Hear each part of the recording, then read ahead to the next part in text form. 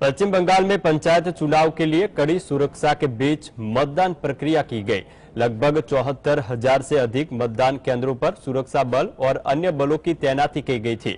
फिर भी मतदान की शुरुआत में कहाँ हुई हिंसा, देखते रिपोर्ट अंदर की बात में। पश्चिम बंगाल में पंचायत चुनाव के लिए आज सुबह सात बजे से कड़ी सुरक्षा के बीच मतदान प्रक्रिया की गई। लगभग चौहत्तर हज़ार से अधिक मतदान केंद्रों पर सुरक्षा बल और अन्य बल तैनात थे। फिर भी मतदान की शुरुआत हिंसा से हुई। मुर्शिदाबाद के बेलडांगा में सत्तारूढ़ तृणमूल कांग्रेस और कांग्रेस कार्यकर्ताओं के बीच झड़प में तृणमूल कार्यकर्ता बाबर अली की मौत हो गई।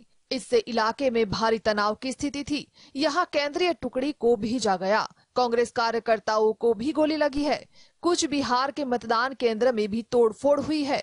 यहाँ मतपत्र लूट लिए गए हैं। सिताई विधानसभा के ब्लॉक नंबर एक से छह में 130 सरकारी प्राइमरी स्कूल में मतदान केंद्र के अंदर तोड़फोड़ और आगजनी की गई। आरोप है कि तृणमूल कांग्रेस के कार्यकर्ताओं ने यहाँ कब्जा कर लिया। नदिया और दक्षिण 24 परगना से भी छिटपुट हिंसा की खबरें आ रही थी। पंचायत चुनाव को लेकर हाईकोर्ट काफ़ी सख्त है। हाईकोर्ट राज्य चुनाव आयोग को कई बार फटकार लगा चुका है। यहाँ तक कहा है कि राज्य के मुख्य चुनाव आयुक्त राज्यपाल के पास जाकर इस्तीफा सौंप दे। Bureau report, GSTV.